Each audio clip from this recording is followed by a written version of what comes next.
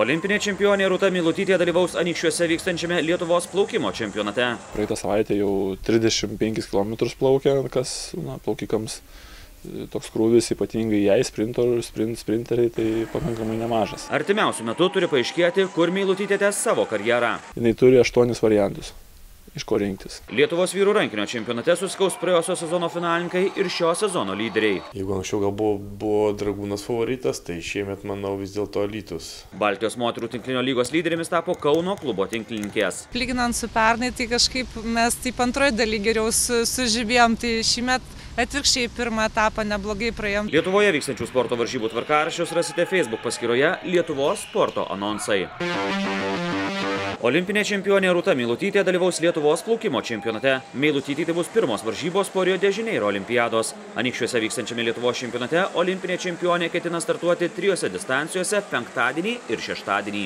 Na, Rūta plaukia dabar ketvirtą savaitę, tai tikrai tai yra gal tik tai toksai mm, apšilimas, pasižiūrėjimas, vėl to varžybinės atmosferos ir, ir dvasios pajutimas. Mm, jinai startuos ir 100 krūtinė, ir 50 laisvų stiliumi, ir turbūt 100 kompleksų dabar vat, reikia dar pasitikslinti. Ir taip, jinai pamažu sportuoja, na ką reiškia pamažu, pamažu. Jinai praeitą savaitę jau 35 km plaukė, kas na, plaukikams toks krūvis ypatingai jai sprinteriai, sprint, sprinteriai tai pakankamai nemažas. Devynios treniruotės per, per savaitę, tai jau jinai sportuoja pilnutėm. Lietuvos čempionate 25 m baseine dalyvaus keturi ką tik iš pasaulio čempionato Kanadoje sugrįžę Lietuvos rinktinės plaukikai - Giedrius Titenis, Danas Rapšys, Andrius Šidlauskas ir Gabrielė Kanapinytė.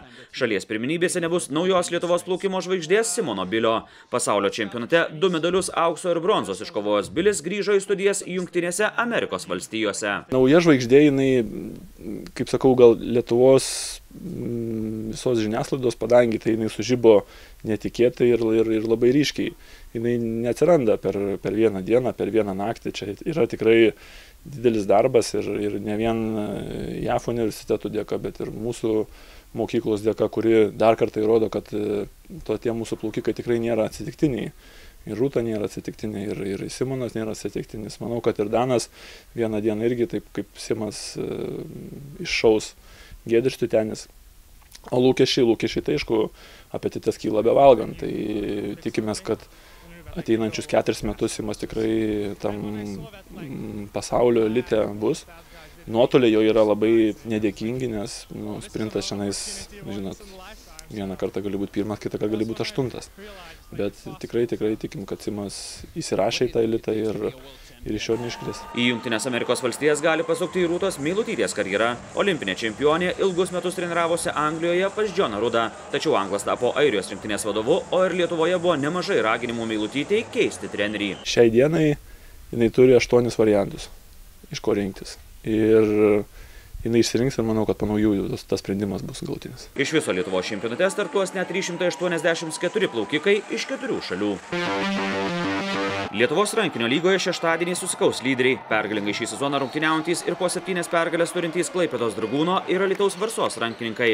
Namuose žaisintis Dragūnas sieks revanšo už pralaimėjimą Alitaus komandai praėjusio sezono finale. Jeigu anksčiau gal buvo, buvo Dragūnas favoritas, tai šiemet manau vis dėlto Alytus yra patyrusi komanda ir labiau patyrusi, turi daugiau patyrusių žaidėjų, daugiau susižaidė, mažiau gal praradimų turi ir yra stabilesni gal.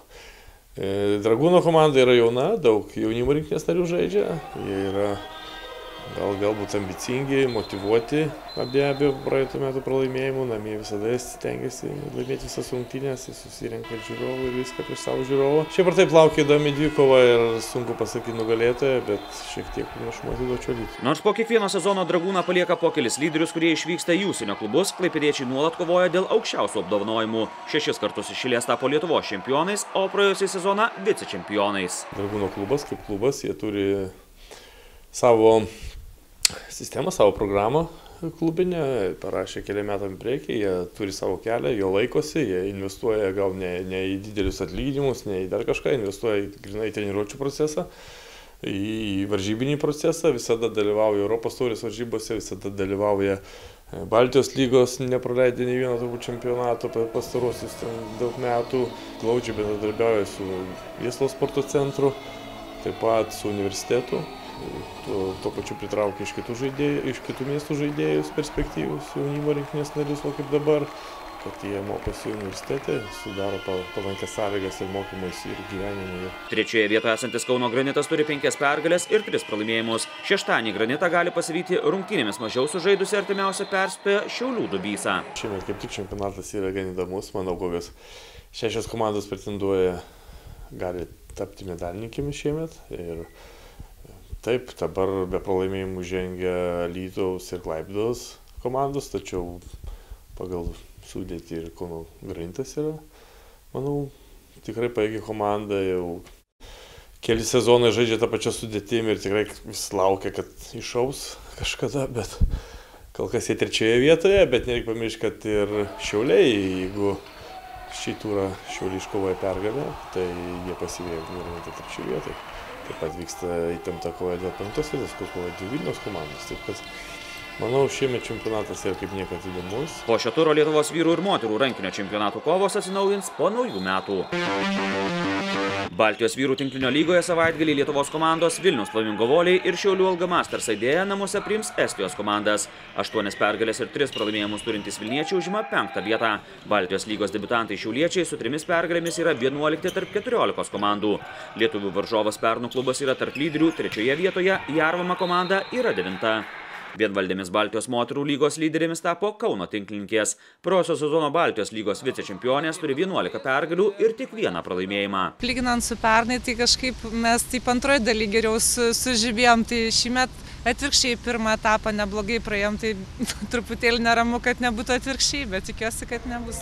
Manyčiau, kad truputėlį sustiprėjom, bet e, manau, kad ir mūsų jaunos žaidėjos labai patobulėjo šį metą ir kažkaip tai jau gal susistiguojam, randam bendrą kalbą daugiau, toksai tarpusavio ryšys atsiranda. Jonavos Achemos tinklininkės Baltijos lygoje užima šeštą vietą. Lygos debitantė Alitaus prekyba yra aštunta tarp dvylikos ekipų. Komandos tai iš tikrųjų yra visos labai apylygės, labai Jonava sustiprėjusi, dar įsigijo vieną žaidėja iš iš Ukrainos, kuri pastiprino polimą, o Lytus irgi ga, gera komanda, galit visokius staigmenų priruošti. Dėl lyderių pozicijos Kauno tinklininkėms reikia kovoti su Estijos komandomis. Pasak Kauno komandos trenerės, Estijoje tinklinių skirimas labai didelis dėmesys. Nuo pradinio etapo jie labai didelį kreipia dėmesį vaikų tinklinį, jaunimo, dalyvauja rinktinės visose e, Europos čempionato atrankose ir neblogus rezultatus rodo. Artimiausias Baltijos lygos rungtynes Kauno ir Alytaus prekybos tinklininkės žais Latvijoje.